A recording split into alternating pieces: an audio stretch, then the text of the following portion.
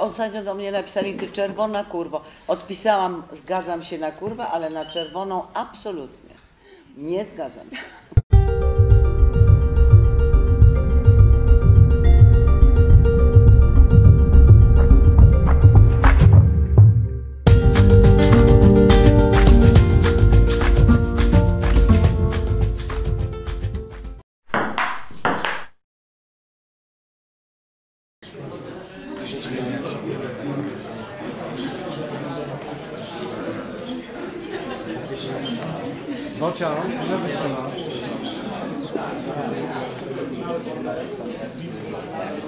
Nie słyszę, bo wie pani, jestem głowa. Dobrze, ja też.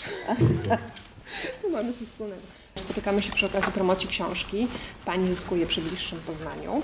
E, I tak słuchałam dokładnie Waszej rozmowy z Panią Kasią Montgomery i Pani też powiedziała, że trzeba było jakoś te wszystkie informacje o Pani uporządkować i zawrzeć je być może w takich kapsułach, rozdziałach. Dlatego ja też pomyślałam, żeby ten wywiad był troszeczkę inny, żeby wybrać takie poszczególne słowa, które Panią charakteryzują. Już mnie pani przestraszyła, a ile to będzie Nie, trwało? będzie, będzie trwało 5 minut. No dobra. Spokojnie, zaczynamy od K, jak Krystyna Od i K, K. jak książka. Tak, ostatnio do mnie napisali, ty czerwona kurwo. Odpisałam, zgadzam się na kurwę, ale na czerwoną absolutnie. Nie zgadzam się. Ale K jak książka. K jak książka. Tak. No wie pani, Bardzo książka, fajny jest ten tytuł, bardzo mi się podoba. książka jako w ogóle podstawa. y, Ja przede wszystkim mam natręctwo czytania. Natręctwo. Ja czytam wszystko łącznie. Jak siedzę i nic nie czytam, to czytam instrukcję tego, co leży przede mną. Jakiś opis kremu, czy opis, nie wiem, działania suszarki, ponieważ mam absolutną takie natręctwo, że muszę cały czas czytać.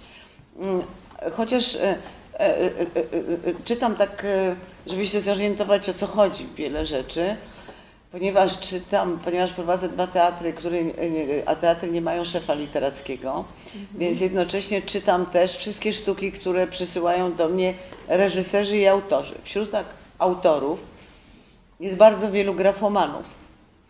W związku z tym czasem sobie robię takie, na przykład, że odkładam sobie 50 sztuk na moje wakacje i czytam codziennie 4 sztuki. Teraz się nauczyłam już, że przy drugiej, trzeciej scenie mogę powiedzieć, czy to w ogóle będę dalej czytać, czy to w ogóle jest warte grzechu.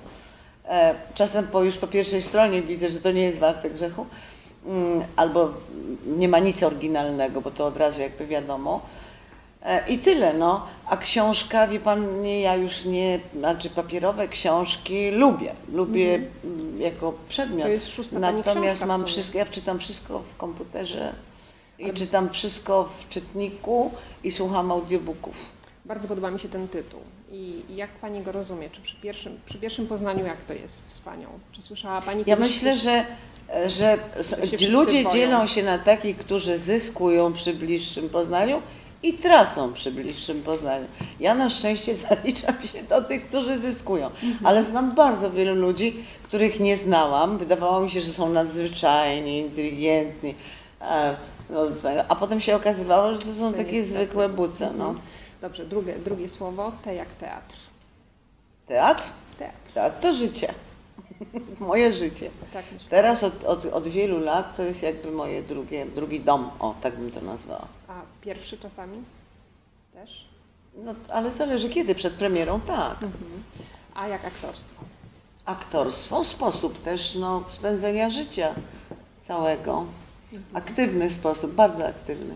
Y, Czy to prawda, bo w książce znalaz- znalazłam taki cytat, łatwiej jest grać niż żyć? Zgadza się Pani z tym? Nie, no w tym trudnym świecie łatwiej jest grać, dlatego że wychodzi się na scenę.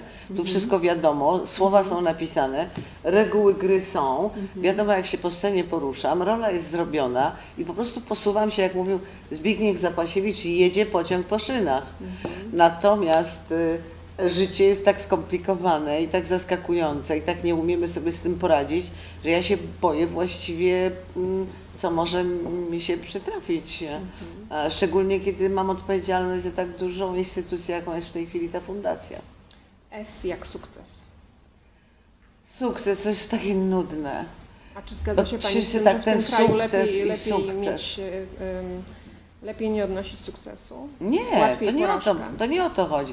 Tylko wszystkich interesuje, jak sukces, albo czy już był sukces, Czy a czy będzie. jeszcze będzie jakiś sukces, a czy to już koniec, a czy to, a, czy, a co bym zrobić, żeby był sukces i tak dalej.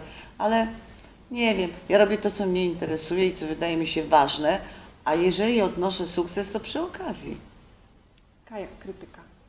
Krytyka? O, wie Pani, jestem już dorosła bardzo.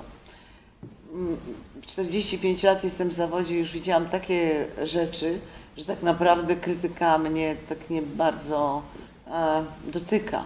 Poza tym Pani miała bardzo mocne wejście, bo to zdążyłam przeczytać w książce, a propos człowieka w marmuru. Tam na Panią No tak, tak. Wylano tej krytyki. Tak, tak, ale to w ogóle, wie Pani, to jest tak, krytyka jest tak zależna od tak wielu elementów, że nie ma w ogóle nic obiektywnego w tym. E, Ja myślę, że my w Polsce e, pokutujemy, pokutujemy, ponieważ od wielu, wielu lat krytyków wychowują ludzie e, albo uczyli ludzie, którzy nie lubią sami teatru. Ja uważam, że należy zlikwidować ten Wydział Krytyki i Wiedzy o Teatrze. Przy szkole teatralnej. Niech uczą jakichś artystów, jakichś... E, e, dlatego, że to krytykiem może być każdy, wykształcony człowiek o, e, o, o dużej wiedzy, guście e, i tak dalej, może być krytykiem. Zresztą to wiemy z historii krytyki, że, to, że naprawdę znaczącymi krytykami byli ludzie, którzy przy okazji jeszcze byli lekarzami albo, albo pisarzami w- ogóle. Słowo, które mi się bardzo z Panią kojarzy, jak czytam Pani wszystkie wpisy, to ile Pani robi, ile premier, że 300, e, 300 razy gra Pani w teatrze, tak 300 przedstawień rocznie, to jest N jak, Około. to jest N jak niedoczas. Nie jak co? Niedoczas. Nie do czas? Czy jest Pani w niedoczasie? Czy czuje się Pani w niedoczasie? Nie, nie. No wie pani, no niektórych rzeczy nie zrobię i tyle. Ale ja nie przesadzam. Zawsze jest taki moment, że, że nareszcie jestem sama. Ale ja mam, jak czytam Pani wpisy często na, na Pani blogu, który prowadzi Pani od 2000 roku, to jest ewenement 16 lat, to mam wrażenie, że, że po prostu są dwie albo trzy Krystyny Jandy. Tak się wydaje, bo wszyscy państwo jesteście leniwi. Mam nadzieję, że nagrało. Dobra. E, No i na koniec, e, Ludzie pracują 8 godzin i uważają, że to jest dużo. a trzeba ile To pracować? dużo. żeby No nie wiem, jeżeli się interesuje ktoś tyloma rzeczami, e, ty, ty, tyle ma aktywności, to niestety trzeba więcej pracować. Dobrze, zapamiętajmy to wszyscy. E, No i teraz ten Ale internet. to nie jest konieczność, ja też nie muszę tyle pracować. Pani chce. Ja nie muszę. Tak, ja, ja się nudzę bez pracy. Mnie nudzi w Ja ogóle rozumiem. wszystko, co Ja nie też. jest pracą. Ja też na Co nie jest jakąś kreacją, co nie jest jakimś stworzeniem czegoś nowego, Mhm. e, czy pomyśleniem o czymś nowym. Z samego czytania książek e, by mi się też nudziło. Muszę ja sama coś napisać. No i o ten internet jeszcze chciałam zapytać. Jak to się stało, że Pani tak się zaangażowała w pisanie tego bloga? To 16 Ja nie lat. wiem dlaczego. Ja pewnego dnia, kiedy w ogóle zaczął się ten internet, po pierwsze miałam siostrę, która była jedną z szefowych na lotnisku i która w pewnym momencie dostała do ręki taki bardzo wybitny komputer. Ten komputer był taki, w ogóle nie było takiego komputera i te wszystkie loty się krzyżowało, ona umiała pisać te programy internetowe i takie jakieś rzeczy. I to mnie tak zajęło, że kupiłam sobie komputer i dzwoniłam do niej bez przerwy w nocy i pytałam Anka, a jak ja chcę napisać, to to co mam nacisnąć? I tak było jakieś cztery miesiące. I ona spokojnie w nocy odpowiada, szukaj plik, tam naciśnij to. I tak mnie prowadziła przez ten program. I po czterech miesiącach wiedziałam naprawdę dużo i już przestałam do niej dzwonić. I zaczęłam się tym, zafascynował mnie ten świat. Ale ja myślę, że to jest fascynacja takiej osoby, która dużą część życia zawodowego, dorosłego życia, przeżyła w socjalizmie z cenzurą, z potwornie tendencyjną prasą i mediami. I nagle zrozumiałam, że powstało medium, gdzie jest się wolnym, niezależnym, że można w tym medium wykreować własny wizerunek. I koniec. I mnie to tak zajęło, że po prostu zaczęłam kreować wizerunek, al, albo też e, nie tylko to, bo, bo, bo, zaczęło się od tego, że ktoś o mnie napisał kłamstwo. Ja nagle miałam takie Narzędzie. narzędzie, że pisałam tak, to jest kłamstwo. I pierwszy raz po tym życiu, w tym totalitaryzmie, w tym czymś, że nie mogłam nic sprostować, nic mogłam powiedzieć to koleżance albo matce, nagle mówiłam to przynajmniej kilkudziesięciu ludziom.